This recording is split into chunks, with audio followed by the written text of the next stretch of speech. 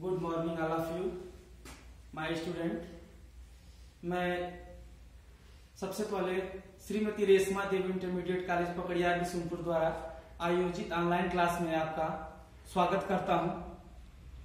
कल मैं भाग एक अपलोड किया था, जो कक्षा नौ के संख्या पद्धति से संबंधित, उस पाठ से संबंधित पाठ परिचय था। आज हम भाग दो आपके सामने लेके प्रस्तुत हुए हैं। और इस भाग दो में हम आपको कक्षा नाइन्थ के संख्या पद्धति का एक्सरसाइज 1.1 कवर करेंगे। एक्सरसाइज 1.1 बताएँगे। तो आप एक्सरसाइज 1.1 के क्वेश्चनों को, सवालों को आप अपने किताब में देखिए कि आपकी किताब के क्या प्रश्न है। उन्हीं प्रश्नों को हमने यहाँ पे नोट किया है। जैसे पहला प्रश्न आपका ये कहता है कि क्या शून्य एक परिमेय संख्या है? क्या शून्य एक परिमेय संख्या है? क्या इसे आप पी बटे क्यू के रूप में लिख सकते हैं? जहाँ पी और क्यू पूर्णांक है और Q is equal to not zero है। ठीक है? ये बात आपसे पूछा गया सवाल में कि क्या शून्य एक परिमेय संख्या है? तो मेरे प्रिय छात्रों, जब हम आपको परिचय बता रहे थे इसका, संख्या पद्धति का परिचय बता रहे थे तो आपको हमने बताया था कि शून्य एक क्या है? परिमेय संख्या है।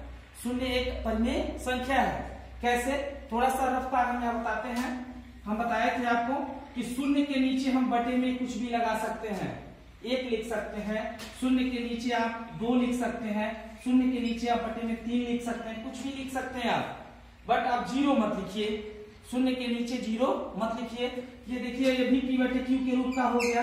ये भी पी बटे क्यू के रूप का हो गया और ये भी पी बटे क्यू के रूप का हो गया। जिससे ये साबित हो रहा है कि शून्य एक परिमेय संख्या होने के साथ साथ इसे पी बटे क्यू के रूप में भी हम लिख सकते हैं। पी बटे क्यू के रूप में भी हम लिख सकते हैं।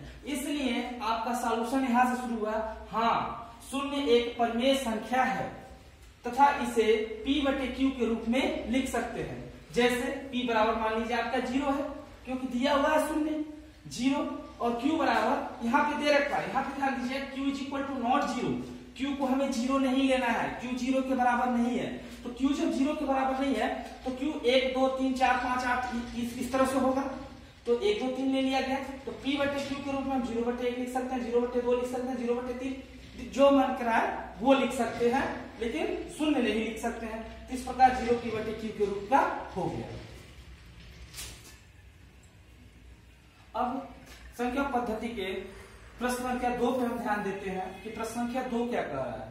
प्रश्न संख्या प्रश्न संख्या क्वेश्चन नंबर दो ये कह रहा है कि तीन और चार के बीच, तीन और चार के बीच छह परिमेय संख्याएँ ज्ञात कीजिए। तीन और चार के बीच छह परिमेय संख्याएँ ज्ञात कीजिए। तो देखिए, इसे हम कैसे लगाएँगे? इसे हम ऐसे लगाएँगे जितनी परिमेय संख्याएँ ज्ञात करने के लिए कह रहा है। जैसे मानिए कितनी कह रहा है? छह कह रहा है। छह कह रहा है ना? तो छह को यहाँ लिख देंगे। छह को लिख के इसमें एक ऐड कर देंगे, एक जोड़ देंगे। तो जैसे हम एक ऐड करेंगे तो छह और एक कितना हो जाएगा? सात। अब क्या करेंगे? सात हो गया। अब इस सात को हम क्या करेंगे? जो पहली संख्या पूछ रहा है, जैसे तीन और चार के बीच में पूछ रहा है तो पहली संख्या आपकी तीन हुई। पहली संख्या में ले आएँगे और पहली संख्या में हम क्या करेंगे? सात बटे सात का गुणा कर देंगे। सात बटे सात का गुणा कर देंगे। तो ये समान विधि से आप गुणा कर सकते हैं। सात त्रिक इक्कीस बटे सात। अब पुनः क्या करेंगे? यहाँ पर दूसरी संख्या क्या है आपका? चार। दूसरी संख्या क्या है? चार। तो चार को भी ले आएँगे और चार में भी हम सात बटे सात से क्या कर देंगे? गुणा कर देंगे। और यहाँ भी सामान्य तरीके से अगर गुणा करें तो सात चौक को अट्ठाईस बटे सात। अब ये ये गुणा क्यों किया जा रहा है? गुणा क्यों किया जा रहा है? गुणा इसलिए किया जा रहा है कि हमें परिमेय संख्याएँ जो निकल के आएँगी, उनका एक सीमा प्राप्त हो जाएगा। कि मतलब ये संख्याएँ इस नंबर से इस नंबर के बीच में होंगी। अब देखिए, छह परिमेय संख्याएँ, छह परिमेय संख्याएँ आपकी क्या होंगी? छह परिमेय संख्याएँ होंगी। इक्कीस के बाद वाली जो नंबर होगी, बाईस बट्टे सात, फिर आगे तेईस बट्टे सात, चौबीस बट्टे सात, पच्चीस बट्टे सात, छब्बीस बट्टे सात, सत्ताईस बट्टे सात। यानी एक एक जोड़ के, एक जोड़ दीजिए इसमें। एक ऐड कर दीजिए और वो आती रहेंगी। लेकिन ध्यान रहे इक्कीस बट्टे सात को नहीं लेना है और अट्ठाईस बट्टे सात को नहीं लेना है। ये सिर्फ़ सीमा दर्शाएगा कि हमारी जो संख्याएँ होंगी परिमेय संख्याएँ, ये इन्हीं संख्याओं के बीच में रहेंगी। तो ये आपका हो गया इस सवाल का उत्तर। अब देखिए, इसी के साथ साथ प्रश्न नंबर तीन भी हम देख लेते हैं। प्रश्न नंबर तीन क्या कहता है कि तीन बट्टे पाँच और चार बट्टे पाँच के बीच पाँच परमीय संख्याएँ ज्ञात कीजिए। कितनी? पाँच परमीय संख्याएँ ज्ञात कीजिए। देखिए, पाँच परमीय संख्या पूछ रहा है। तो पाँच परमीय संख्याओं के लिए हम क्या करेंगे? यहाँ पाँच लाएँगे। क्या लाएँगे? पाँच। अब देखिए, यहाँ छह था ना तो यहाँ छह में एक ऐड किया गया, जोड़ा गया। यहाँ पाँच है, इसमें पाँच में एक जोड़ दिया गया। पाँच और एक छह हो गया। अब पहली संख्या लगे तीन बटे पाँच। तीन बटे पाँच में क्या करेंगे? छह बटे छह का गुड़ा करेंगे। कितने का? छह बटे छह में। जैसे यहाँ सात बटे सात का गुड़ा किया गया, इसी तरह छह बटे छह का। तीन छह का अठारह बटे तीस, ये हो गया। अब चार बटे पाँच को यहाँ लाएँगे और यहाँ भी छह बटे छह में गुड़ा करेंगे, ये चौबीस बटे तीस हो जाएगा गुड़ा होगा तो ठीक है? अब ये पाँच परिमेय संख्या आपकी इस प्रकार से निकल के आएँगी। अठारह बटे तीस और उन्नीस बटे तीस नहीं लेना है, इनके बीच की संख्याओं को लेना है। अठारह बटे तीस में एक जोड़ दीजिए, उन्नीस बटे तीस, इसमें एक जोड़िए, बीस बटे तीस इसमें जोड़िए इक्कीस बट्टे तीस इसमें जोड़िए बाईस बट्टे तीस इसमें जोड़िए तेईस बट्टे तीस अब गिन लीजिए आपकी परिमेय संख्या हो गई कि नहीं? पाँच। एक, दो, तीन, चार, पाँच। तो ये आपका उत्तर हो गया। अब ये आपका प्रश्न संख्या चार देखेंगे हम। प्रश्न संख्या चार कह रहा है, संख्या पद्धति का प्रश्न संख्या चार, नीचे दिए गए कथन सत्य है या असत्य?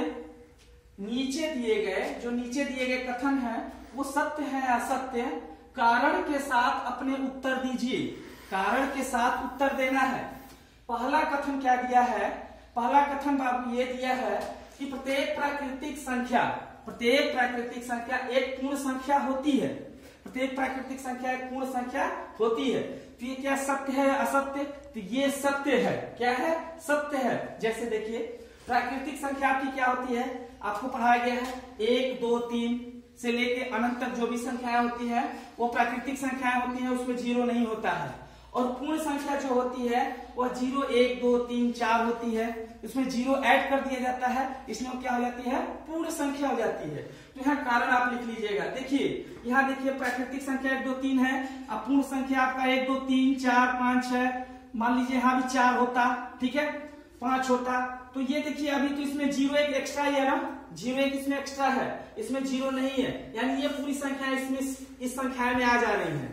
यानी प्राकृतिक कुल, प्राकृतिक संख्या जो है या प्राकृतिक संख्या जो है, वो पूर्ण संख्या में टोटल की टोटल आ जाएगी। ठीक है? यह कारण लिखा हुआ प्रत्येक प्राकृतिक संख्या पूर्ण संख्या का एक भाग होता है या भाग होती है। इसलिए ये जो आपका ऊपर वाला कथन क्या है? सत्य है। अब दूसरे कथन की बात करते हैं।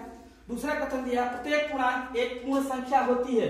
प्रत्येक पूर्णांक एक पूर्ण संख्या होती है। क्या सही है, गलत है? तो ये बिल्कुल असत्य है। कैसे? देखिए, पूर्णांक क्या होता है? ज़ीरो के साथ, ज़ीरो के साथ धनात्मक तथा ऋणात्मक संख्याएँ पूर्णांक संख्याएँ कहलाती है। जैसे देखिए, ज़ीरो, एक, दो, तीन, इधर zero minus one, minus two, minus three, इधर ये पूर्णांक संख्या। लेकिन पूर्ण संख्या क्या होती है? पूर्ण संख्या ज़ीरो के साथ सिर्फ़ धनात्मक संख्या होती है। क्या होती है? सिर्फ़ धनात्मक संख्या, उसमें ऋणात्मक संख्या नहीं होती है। इसलिए आपका कथन पूर्ण रूप से बाबू सत्य है। प्रत्येक पूर्णांक एक पूर्ण संख्या होती है। क्या है? असत्य है। सॉरी सॉरी यह कथन क्या है? असत्य है। ठीक है अब देखिए तीसरा क्या कह रहा है? प्रत्येक परिमेय संख्या एक पूर्ण संख्या होती है। प्रत्येक परिमेय संख्या एक पूर्ण संख्या होती है, क्या है? ये कथन असत्य है। क्या है ये? कथन असत्य है। क्यों असत्य है? परमेय संख्या देखिए हमारी क्या? पी बटे क्यू के रूप वाली संख्या को परमेय संख्या कहते हैं ना? जैसे तीन बटे पाँच, दो बटे सात, एक बटे आठ। इटीसी ढेर सारी संख्याएँ हैं। लेकिन पूर्ण संख्या क्या है? पूर्ण संख्या तो ज़ीरो, एक, दो, तीन, इस तरीके का इसमें बटे वाला तो मैटर होता नहीं है। ये सिर्फ़ पूर्ण होती है, इसलिए प्रत्येक परमेय संख्या पूर्ण संख्या होती है। यह कथन आपका क्या है? असत्य है। इस प्रकार आपका संख्या पद्धति का एक्सरसाइज 1.1 खत्म हो गया। इस, इसके महत्वपूर्ण सवालों को आप पढ़िए, जो समझ में नहीं आएगा, वो हम लोगों के मोबाइल नंबर पे आप संपर्क करिए। धन्यवाद।